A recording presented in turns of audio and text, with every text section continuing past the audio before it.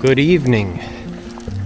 Nicholas here, and I am out on a Wednesday night doing a little coon hunting.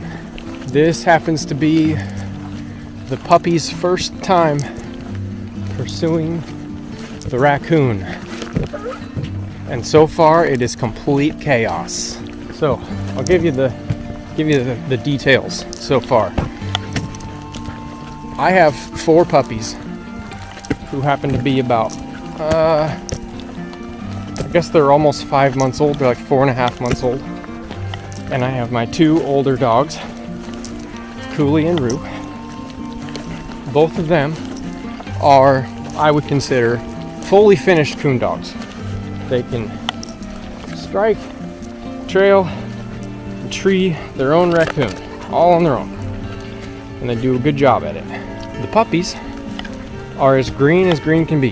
They're not even tone trained yet, which is especially stressful because Cooley and Rue, I have more or less total control over them.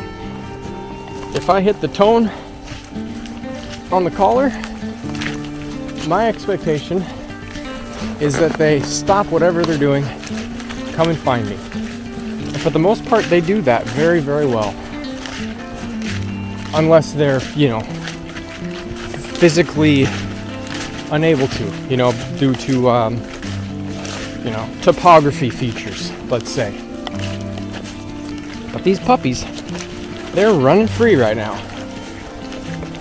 And if I need to get them back, I'm relying on them following Cooley and Rue.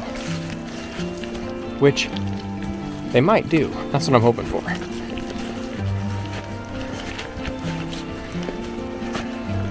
So we're out in what is really my best coon hunting spot. Coon hunting out here in Oregon is not nearly as popular or as practiced as it is in other parts of the country. It definitely happens out here, but um, I would say bobcats are the main species that people are pursuing in town. And it used to be mountain lions and bears when all that was legal. So coon hunting is not as popular out here, but there's still tons of raccoons. The problem I run into is that it's hard to find land to actually hunt them on. So this is one of my only good spots uh, that holds raccoons that's accessible. So that, that's where we're at. Oh, Cooley just opened. Cooley just opened. So she just struck. She just struck something. Tika and Clover are over there with her. Well, actually, no. Clover's gone off doing his own thing. But Rue and Tika are over there, and I need to go catch up to them. And that is a lot of coyotes. What is Clover doing over there? Come on. Come on, pups. Clover! Clover! I gotta go get Clover. Good boy, come on, bud. Oh, he's coming. Good boy. Come on, Clover. All right. Good boy, buddy. Good boy. That's perfect. Good job, buddy. Good job.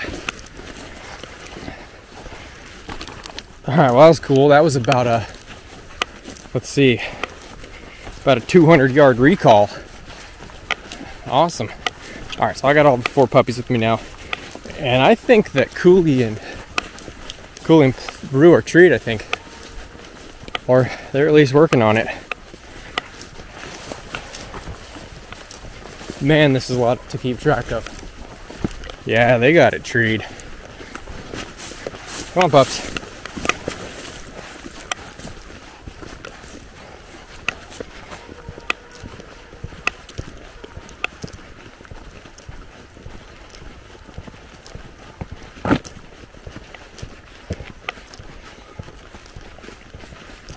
Oh wait, we should go into it from the field side. Come on, pups, this way. That's where they struck it from. Come on, let's go. Let's go this way. Come on, Clover, let's go. Good dogs.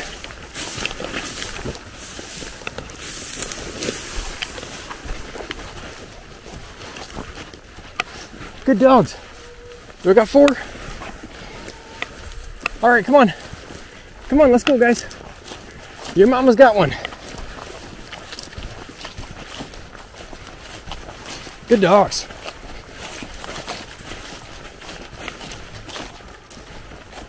Yeah, so Cooley just circled this field and hit a scent.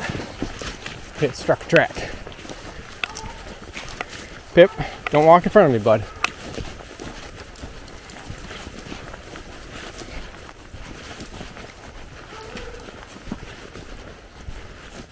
Oh wow, Tika was actually in there with him.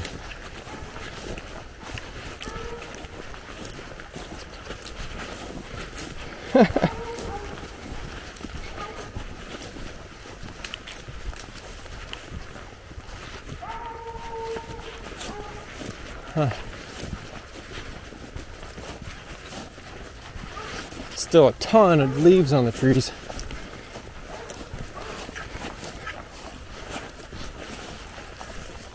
There's Rue. What are you doing, Rue?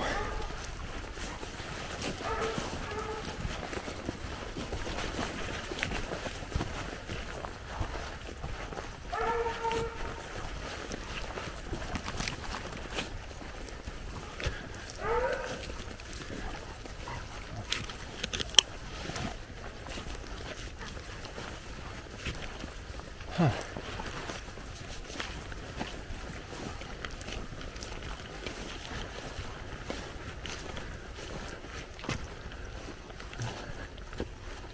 Be nice if I could see it before I go in there.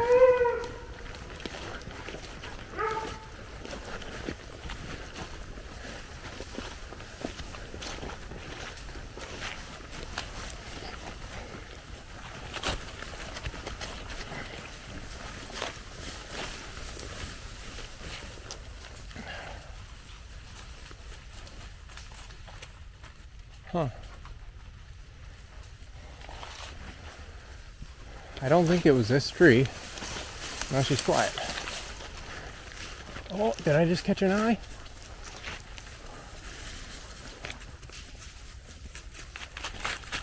Alright, I gotta figure out what's going on here. Okay, so I thought Cooley was treed, and then something happened which caused her to uh, stop barking. I don't know what happened. She either lost it then she started taking off across the road and sprinting through a field. She was silent. So I don't know what if she bumped something. Um, but I just wanted to give a little context for what I'm doing right now. This is I'm trying to get through this brush. Like it's just it's impenetrable. It is so insanely thick, and all this is blackberries. Everything has a thorn on it in here. And the dogs are keeping up with me good because they're small and they go under it. But this is just brutal. This is reminding me of why I kind of lost interest in coon hunting. It's fun, but it's just so thick. Okay, wow. That was just absolutely miserable. My God. So insanely thick, you can't get through. This place, two years ago, I guess two or three years ago, I used to come here a lot. I haven't really come here in a while. Last time I came here was to do some puppy training. And it used to be bad, but not this bad. It got a lot worse when we had this huge ice storm. I think two years ago now. Maybe it was last year. I don't know. Time is blurry. Had this huge ice storm all the trees froze and tons of them fell down.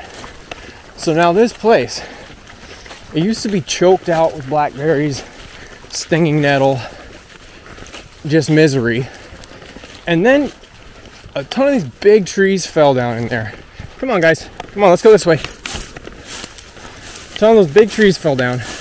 And so now it's like you're walking, you're, you're going through the brush, and then all of a sudden you're climbing through the canopy of a big tree. I don't know what kind of trees they are. But it just gets crazy. So, anyways, I was trying to get to where Cooley was. She ended up pulling off and coming out and following me. She likes to do that. And uh, yeah, I don't know what happened. All of a sudden, they started blazing across this field. I don't know if, I mean, they possibly had the coon on the ground and they were got away from them. I don't know. They also could have bumped a coyote. I've had a hard time getting them all coyote broke. Hi Tika, you're doing so good, girl. So, yeah, I made it. I was just trying to come this woodline right here. I was only 50 yards on the other side. Trying to literally go 50 yards through the woods, and I couldn't. I couldn't do it. So, yeah, fun times. Now, I don't know if Cooley's working on the same one or what she's doing, but we're gonna find out. She's right up here. Good girl, Tika. Pretty impressed by Tika. She followed along with Cooley that entire way. She's right there with her that whole way. That was pretty awesome. Come on, guys. They're doing good. They're sticking with me when I want them to. And they're going out and hunting with Cooley.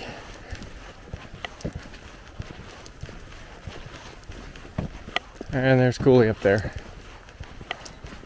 I think I just saw an eye in there. Maybe not. Two, three, four. Okay, I got four puppies. Okay, okay, Cooley, let's go. I want to go this way.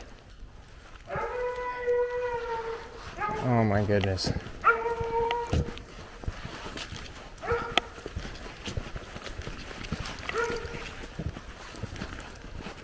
Well,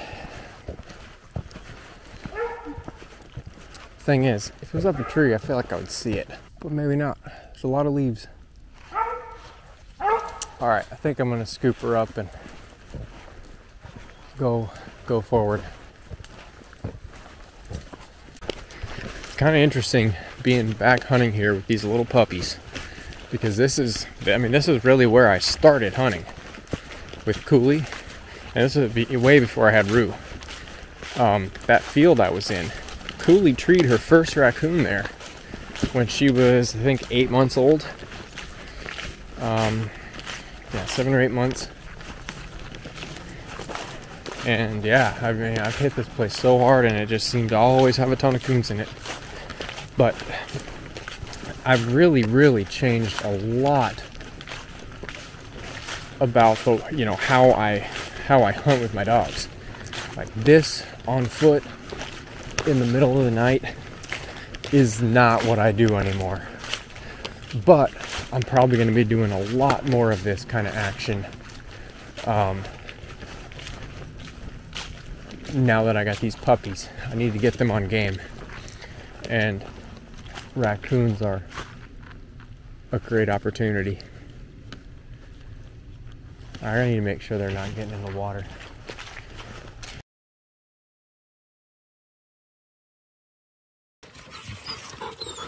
All right, Nicholas here out for another night of coon hunting. I cut the dogs loose and literally under two minutes later, Cooley struck a track and uh, she's been running it for the last 10 minutes or so. Uh, funny enough, I can see the tree that the raccoons are in, assuming that she's running the track of these raccoons. But it's right off the road, so I'm just gonna sit here and wait. If she would have if she would have ran another 20, 30 yards up this road, she probably would have winded them in the tree. But uh, she's running the track proper, which is always good. So uh, we'll see how this turns out. And I'm hoping she'll fall treed right here off the road. I got all the puppies with me. and uh, they are doing good. They're trying to make it down to her, but it's super thick brush, and they're just not used to that. So uh, they're trying, which is all that I really care about right now. And we're out here doing it. So yeah. So they're in this tree right here. They must have been up there all day.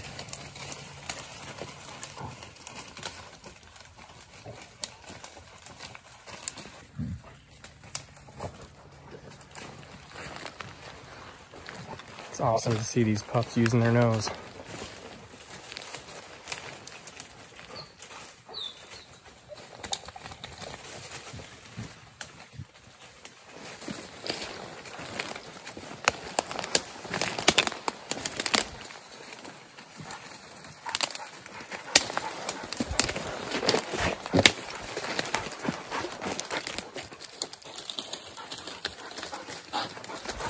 It's up there, Cooley. All right, Cooley figured it out. Good girl, Cooley. That's it, girl. That's it. Good girl. Good girl. Good girl. That's it, mama. That's it. Good girl. Good girl. Good girl, Cooley. That's it. That's the one, girl.